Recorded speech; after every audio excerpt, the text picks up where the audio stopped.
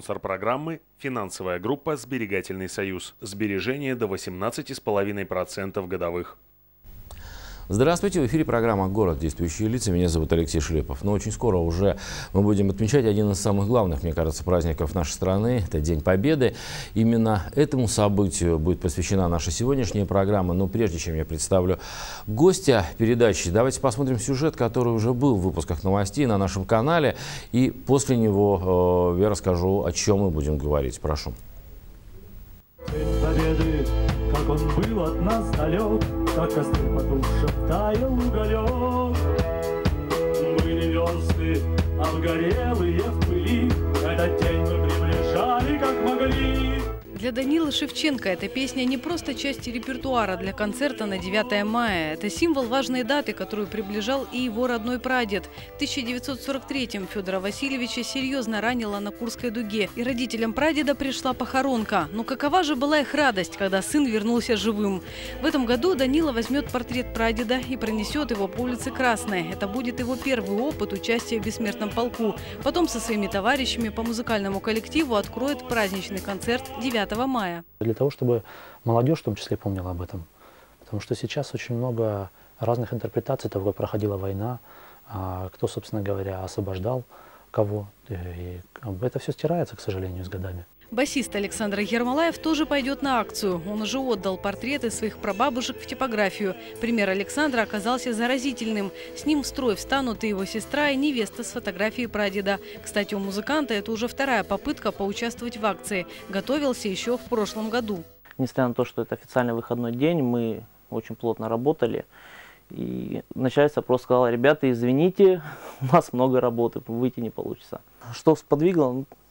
Не знаю, может быть, чувство какого-то, душевный порыв, наверное, какой-то правильно будет сказать, сподвиг. Потому что если этого нету, ты не пойдешь. Просто так для массы идти это неправильно. Нужно идти, потому что действительно тебя тянет, тебе хочется это сделать.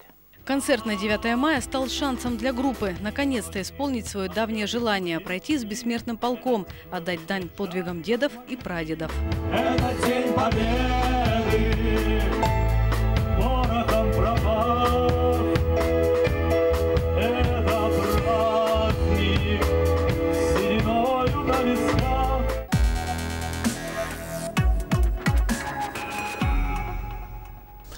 Итак, как вы догадались, мы сегодня будем говорить об акции «Бессмертный полк». И гость нашей сегодняшней программы – руководитель регионального отделения общероссийского движения «Бессмертный полк России» в Краснодарском крае Борис Левицкий. Здравствуйте, Борис Добрый Евгеньевич.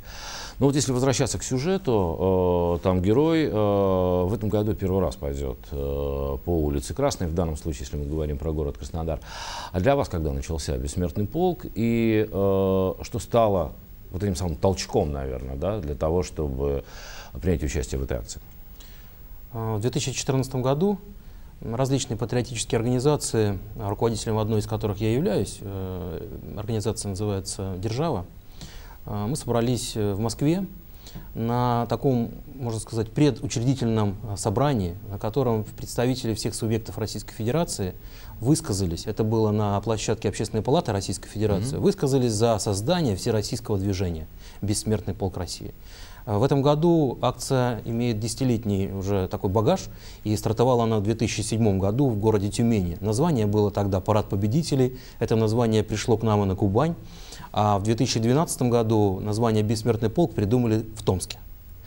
Так вот, в 2014 году э, все представители субъектов высказались для создания организации очень красивое название «Бессмертный полк России», и все проголосовали и сказали «да, это надо сделать». Организация была сформирована, создан устав, зарегистрировалась и сегодня живет и работает э, в России, в том числе в Краснодарском крае. Я э, знаю, я помню э, свои ощущения, когда м, ты идешь с портретом, э, когда ты идешь по улице. Э, это было э, первый раз у меня, это было не в Краснодаре, это было э, в Туапсе, город воинской славы. Мне кажется, это тоже э, как-то накладывает э, дополнительные ощущения. Вот э, если можно, э, о ваших ощущениях, когда вот ты идешь в этом строю, когда ты несешь этот портрет, вот что чувствует человек? Вы знаете, во-первых, вспоминаются юные годы, когда мы участвовали в демонстрациях, когда огромные массы людей приходили на улицы. И на самом деле сейчас же такого нет. Это единственная акция в стране, которая собирает на главных улицах и площадях городов такое количество горожан. Главное, что эта акция не придумана в кабинетах начальников. Эта акция родилась вот э, в сердцах наших людей. Может быть, я отмечаю, что новое поколение немножечко по-новому воспринимает, что такое война. Из кинофильмов, из роликов, из рекламных каких-то там аспектов. Но через личную историю это единственная возможность нам всем сказать, что действительно мы страна победителей, что мы страна, которая а, создана для больших подвигов и может не только себя защитить, но и других в обиду не дать. А, еще один вот аспект э, вот этого шествия, вот этого бессмертного да. полка, э, вот я, я бы разделил это да, на, на две такие э, составные части. Э, это те, кто идут э, да, по улице, и те, кто смотрят э, сбоку, потому что, ну, допустим, я когда э, шел сам, я видел лица людей, мимо которых э, мы проходили, и мне все время было интересно, если у вас есть этот опыт, да, а что чувствуют те люди, которые смотрят на это со стороны? Те люди, которые э, не, не идут, да, а вот стоят э, вдоль обочины, потому что когда мы дошли в том же самом Топсе до центральной площади, мы еще какое-то время стояли, мимо нас тоже проходили люди, и эти ощущения были совсем другие, по крайней мере для меня. Э, вот если, может быть, о ваших немного. Ну, вы знаете, да, мы отмечаем такую тоже как бы точку зрения, когда люди а, не участвуют, а, приходят вот просто посмотреть, посмотреть, но они все друг другу говорят, а в следующем году мы тоже пойдем. И здесь э, действительно личная история каждого, ведь они же несут свою фотографию. Они берут ее из личного архива, они ее а, готовят, они ее там расширяют, распечатывают. Это целый процесс, который начинается вместе с ребенком, который э, приходит к родителям, говорит, папа, вот где портрет моего бабушки, откуда ты узнал, что такая акция, нам в школе сказали. И все это начинает как бы в семье, вечерами готовятся, и, соответственно, это такой семейный mm-hmm. уже момент. И понятно, что они с этой частичкой семейной памяти приходят на этот народный парад, они начинают делиться в своей шеренге, кто где, заводят новые знакомства. Это просто участники. Но, опять же, да, я, я, я помню, да, вот эти ощущения, когда люди спрашивали, это кто, да. а где он, э, не знаю, где он воевал, да, почему именно этот портрет и так далее. Ну, да. То происходит вот такое вот... Э, Коммуникация еди, срабатывает. Единение какое-то такое очень э, происходит. А вы э, с чьим портретом пойдете в этом году и... Как, а, вот, как вот это? В прошлом году я шел с портретом одного деда, который а, призывался в Киеве и э, тоже как бы пришлось послужить. В позапрошлом я ходил с портретом другого деда, который призывался на Курской дуге и тоже прошел до конца войны. А в этом году, я думаю, подготовлю портрет прадеда, который э, был в трудовых буднях а, готовил, значит, э, занимался заготовкой продуктов для фронта. Это был прадед, он уже был старенький, непризывного возраста человек. А вся семья пойдет с теми портретами, а, это мои дети, дочка, сын э, с теми портретами, которые уже ходили в прошлом и позапрошлом году. Ну, вот, кстати, мне, э, я не знаю, вы меня поправьте, если, э, если ошибаюсь. Вот я тоже обратил внимание, что вот там у родителей моей жены, да, портреты, которые уже были, которые выносили на бессмертный полк, они никуда не убираются. Они остаются на достаточно видном месте, и они там хранятся до следующего 9 мая. То есть вот так, чтобы каждый год делать новые портреты, такого нет. И, и, или это только по моему, или, или это так да у нет, всех? на самом деле здесь нет никаких правил. Это каждый выражает свою точку зрения, как он хочет, как он изъявляет свое, вот, как бы, свои эмоции в отношении своего героя, своего отношения, в отношении своего победителя. И пускай каждый делает по-своему. В этом и уникальность акции, что она не имеет никаких жестких, твердых правил. Многие ребята приходили к нам и говорили, а мы хотим пройти с теми воинами, которые погибли в Афганистане. Ну и пожалуйста, почему нет? Вот, э, многие военнослужащие, которые уже ушли, э, их нет, но они не были участниками войны, они были детьми, кто увидел, как это все угу. происходило, и они в семьях получили эту закалку. Поэтому это тоже воспринимается. То есть это целый парад тем защитникам Отечества, которые э, находятся в наших семьях и хранятся в наших фотоальбомах. Если говорить по прошлый год, э, сколько человек приняло участие, там, не знаю, в Краснодаре, в Краснодарском крае, какие-то, кто-то подводит э, вот эти вот итоги, вот кто-то с- считает этих людей. Почему? Потому что, ну, я буду возвращаться, да, там, к прошлому году, э, по тому же самому городу Туапсе, э, ну, мне казалось, что это, это весь город вышел. И, допустим, я, я, я видел, когда перекрывали, просто перекрывали федеральную трассу, э, потому что шли работники одной из крупнейших компаний там, на- территории города, они просто на работе построились, они просто на работе э, собрались в вот эту большую колонну и шли в центр города. И это было огромное количество людей. Ну, По численности в прошлом году мы подавали заявку на проведение этого шествия в соответствии с законами Российской Федерации, законами Краснодарского края. И мы ориентировались на число участников до 50 тысяч человек. Но на самом Краснодаре? деле в Краснодаре, по улице Красной. Но пришло 75 тысяч человек. А, Поэтому в этом году, несомненно, после такого эмоционального, э, как бы вот, э, фу- скажем так, э, фона вокруг этой организации, вокруг этого шествия, мы предполагаем, что участников будет в районе 100 тысяч человек. В этом месте нам нужно сделать небольшую паузу. Мы сейчас посмотрим рекламу, потом обязательно вернемся к, нашей, к нашему разговору. И я думаю, что нам нужно будет озвучить, да, когда это будет, где это, во сколько и что. Но это уже сразу после рекламы. Реклама на нашем канале. Мы продолжаем программу. Еще раз хочу вам напомнить, мы сегодня говорим про бессмертный полк, мы говорим уже про празднование э, Дня Победы. Э, перед рекламой я говорил, что нам все-таки нужно будет да, озвучивать э, э, вот эти какие-то такие э, ключевые э, цифры. Э, 9 мая, улица Красная, это уже традиционно. Во сколько, где старт, э, как будет проходить все? Нужно ли регистрироваться заранее? Нет, акция народная, никакой регистрации не нужно. Мы просто объявляем горожанам, где и когда это пройдет. И чтобы не было путаницы, мы все-таки решили за основу взять шествие прошлого года, позапрошлого. Это улица Красная. Голова колонны начинает построение, строится, начинает в 13.00 в час дня и выстраивается до улицы Советской. Шествие начнется в 14.00, пройдет оно по улице Красной к вечному огню, который находится на улице Северная. Мгм. Какие новшества в этом году? Для того, чтобы э, каждый мог э, приобщиться уже к какому-то фронтовому соединению, в этом году организаторами нами придумана э, целая цепочка новаций. Мы изготав- изготавливаем фронтовые соединения, стандарты вот этих фронтов с названиями украинский, первый, белорусский, карельский. И выставим их по улице Красной в местах сбора вот этих парадных, скажем так, коробок, народных коробок. И туда будут приходить люди, уже зная, что их дед воевал на этом фронте. А, то есть если, если ну, ты знаешь, да, что твой дед Да. воевал, там, допустим, на Первом Белорусском, Да. то ты ищешь этот штандарт, Да. ты э, становишься вот в эту колонну. То есть уже не по там, какому-то э, рабочему территориальному признаку, да, мы с тобой вместе работаем, давай, да, или, или как там мы с тобой соседи, давай пойдем. Здесь уже можно вот Ну, так. на это самом деле это предложение Да, самих ну. Горожан. Они говорили, почему бы так не сделать. Мы прислушались к этим предложениям, и действительно идея оказалась интересной. Почему бы не вспомнить, какие были штандарты, какие они вообще имеют название, а, что эти штандарты шли по Красной площади в парад Победы, который был в 1945 году. Но почему бы это не сделать так же, красиво, с участием наших горожан, тем более, что они сами этого захотели. Вот здесь, э, я знаю, вы с собой принесли, да, здесь есть афиши, э, которые, э, я так понимаю, появятся, да, по городу. Вот такие буклеты еще существуют, я думаю, что сейчас мы сможем их по- по- поближе показать. Это что, вот опять же значки, ленточки. Афиши будут расклеены в тех местах, где удобно э, прочитать и ознакомиться с этой информацией, которая сказала, что это шествие во сколько, где и так далее. На афишах э, есть символика, это наша э, звезда, звезда красноармейска, э, красноармейца с Георгием Победоносцем с названием «Бессмертный полк России».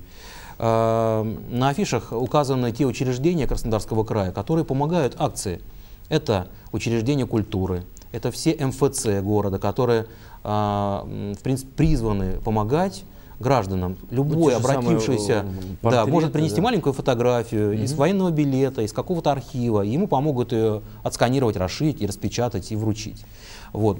Еще очень важно, что все образовательные учреждения Краснодарского края, города Краснодара, вовлечены в работу по размещению вот этой крупицы, вот этой семейной информации, где служил дед, как его звали, в каком он звании был, со своим боевым путь, его боевой путь, его ордена на всероссийском портале, который наши друзья, Mail.ru, компания айтишная, очень большая, э, мощная, э, она создала специальную социальную сеть polkrf.ru. Угу. И на этом портале э, мы подразумеваем, когда он будет постепенно заполняться, потомки этих победителей начнут общаться между собой, что они потомки вот этого взвода, этого батальона, этого полка. Вот такая задумка для нашей молодежи. А, для Краснодарского края мы создали специальный э, сайт polk23.ru, на котором можно прочитать новости, подробности, где изготовить транспарант, э, в каком рекламном агентстве, вот, э, какие То еще мероприятия. бизнес тоже к этому подключается, да? Я Вы знаю, знаете, к этому, активно. это ну, частный бизнес, предприниматели, которые могут помочь, они помогают. Кто-то помогает в сборе средств на георгиевские ленты. Общественные организации, которые проводят целую гряду мероприятий, они помогают вот в изготовлении значков. Ну да, я вот да. тоже хотел спросить, это же все стоит денег определенных, да? Откуда, откуда эти деньги? Ну, это на же... самом деле, деньги здесь не очень большие. Здесь просто на самом деле работает принцип краудфандинга, когда мы, э, в принципе, делаем воззвание на, для работодателей, они mm-hmm. делают посильную помощь, но они делают это не нам, они делают в основном работникам своих предприятий. Вот, в эту работу вовлечены и профсоюзные организации, и общественные организации. И вот так вот как бы всем миром мы э, очень умело и красиво все это организовываем. Сейчас же э, вот к 9 мая достаточно большое количество всевозможных акций, всевозможных проектов и так далее. Там дороги войны, да, когда есть проекты, когда э, ты можешь проследить, зная определенную информацию, да, там боевой путь э, своих дедов, прадедов и так далее. Насколько, скажем так, бессмертный полк э, с такими э, проектами, с такими э, организациями э, сотрудничает? Есть ли связь? Готовы ли друг другу помогать? Ну, конечно, «Бессмертный полк» — это такая, знаете, э, мощнейшая акция, которая проходит 9 мая. Она уже э, в расписании этого дня занимает весомое как бы, значение и место. Э, сначала, конечно, проходят парады победы, идут войска, но «Бессмертный полк» — это участие семьи, участие каждого вот в этой личной истории. Несомненно, мы присоединяемся к нашим партнерам. Это патриотические организации, которые проводят различные акции, в том числе 22 июня, летние патриотические лагеря, Угу. А, вот эти «Дорогой войны» и проекты «Дорога героев», когда ребята идут труднодоступные, у нас на Кубани в горах проходили сражения, голубая линия, приобщаются к поисковым экспедициям, да, наводят порядок. Мы здесь об этом тоже говорили в нашей студии, да? Да, конечно. Поэтому «Бессмертный полк» — это движение, которое сотрудничает со всеми патриотическими направлениями и считает себя, э, вменяет себе в обязанности это делать, потому что это очень правильно. Мы готовим волонтерские штабы добровольческие. Сегодня мы э, с таким воззванием провели часть мероприятий в каждом муниципальном образовании создали волонтерско-добровольческие штабы, в которых люди разного поколения, причем, хочу заметить, это и пенсионеры, и серебряный возраст, и молодежь сталкиваются с одной целью, как красивее, лучше провести это мероприятие 9 мая. И не только. И они заводят новых друзей, новые задачи, э, живут э, этой хорошей идеей в течение всего летнего периода, э, обмен информацией, данными, очень красиво и интересно. Бессмертный полк, да, это, э, это 9 мая, да, это несколько часов, э, пока вся эта большая колонна, вся эта большая масса людей пройдет, э, пройдет, пронесут портреты. А дальше, а где-то можно эти портреты, я не знаю, увидеть, разместить? Где-то можно вот эту память о своих героях, там, о своем деде или там, бабушке или там, прадеде, ее можно где-то еще оставить, ее можно где-то продлить за, за 9 мая. Ну, я считаю, что вот этот уникальный э, портал, который создан, polkrf.ru, это действительно возможность разместить и фотографию, и информацию о своем ветеране. И здесь э, масса возможностей будет у строителя этого сайта и у нашего движения работать с этим массивом данных, приглашать э, родственников на те или иные мероприятия, которые чередой идут. Это дни освобождения городов и станиц, это название школ именами героев и победителей, угу. это династии интересных и красивых, э, скажем так, фамилий, людей, которые э, отдают свою жизнь труду на Кубани, да, значит, отдали жизнь за защиту своих рубежей, своих станиц и городов. И эта работа ведется по крупицам в школьных музеях, в библиотеках, в патриотических клубах, в поисковых организациях. Даже те ребята, которые сегодня входят вот э, в мотоклубы, это байкеры, они тоже очень патриотичны и присоединяются к нашим э, мероприятиям, берут наши флаги, делают целые цепочки авто и мотопробегов. Вот. Э, автопробеги тоже ребята на джипах любят, э, знаете, переезжать там по сложным участкам в горах. И сим, символика у них в основном патриотическая. Это флаги победы, это фотографии наших отцов и дедов. Э, я вернусь опять же к своим э, ощущениям. Я, э, когда мы шли вот в этой большой колонии, я внимательно следил за своими детьми, да, вот, за их реакцией и за тем чувством, которым я, пытался выяснить, да, хотя бы по лицу, по, по внешним каким-то признакам, что они ощущают. По вашим ощущениям, вот кто больше, наверное, в таких акциях, в таких мероприятиях нуждаются? Наше подрастающее поколение, это поколение детей, тех, кому еще нет, наверное, 18, или поколение родителей, ну, не знаю, людей нашего с вами возраста, э, может быть, постарше. Для кого это больше нужно? Для кого это носит более эмоциональный, что ли, э, характер? Я думаю, что это важно для самой семьи, когда семья выходит вместе, разного возраста люди, дедушки, бабушки, дети и совсем маленькие дети, да, э, работающая часть населения, то вот именно в составе семьи они создают вот эту, как бы скажем так, ячейку нашей страны, очень мощную, на которую можно положиться и в трудные времена. И потом, после шествия, ну куда все эти ребята идут, куда эти семьи? Они собираются во дворах, как привыкли собираться наши предки, когда накрывались столы, играла музыка, были танцы, музыка военных лет, гармония, гитары. Вот это на самом деле семейный праздник. И, конечно, важно приходить туда семьями для того, чтобы через личную историю ребенок понимал, что здесь идет его родитель, его отец, его мама, он держит фотографию своего деда, и здесь он а, рассказывает об этих эмоциях своим ребятам, а, когда они возвращаются после праздника в школу, а, в студенческую среду, они, несомненно, делятся и заряжаются этой энергией, огромной энергией такой большой массы людей, которые в этот день приходят на э, главные города, главные улицы нашего города и на главные площади.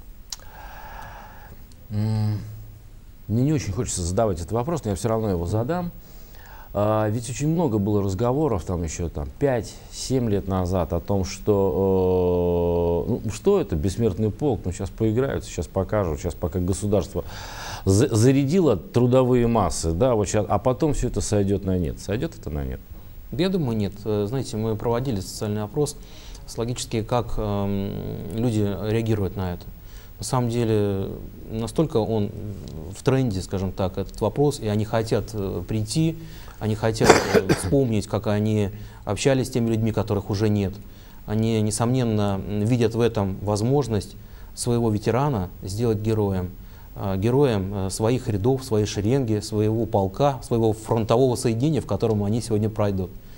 Это память нашим предкам, тем людям, которые дали начало нашим фамилиям, которые мы сегодня носим. Может быть, в наших сердцах та память, которая живет, когда мы их помнили живыми.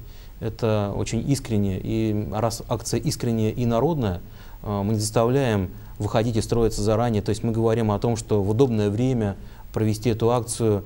Можно утром посмотреть парад на Красной площади mm-hmm. или посмотреть по телевизору парад, который был в городе Краснодаре. Или а потом спокойно попить, выпить чашку чая, взять ребенка и прийти на построение. Ну это же классно, это очень хорошо. Поэтому будем надеяться, что будет очень хорошая погода и у всех будет хорошее настроение.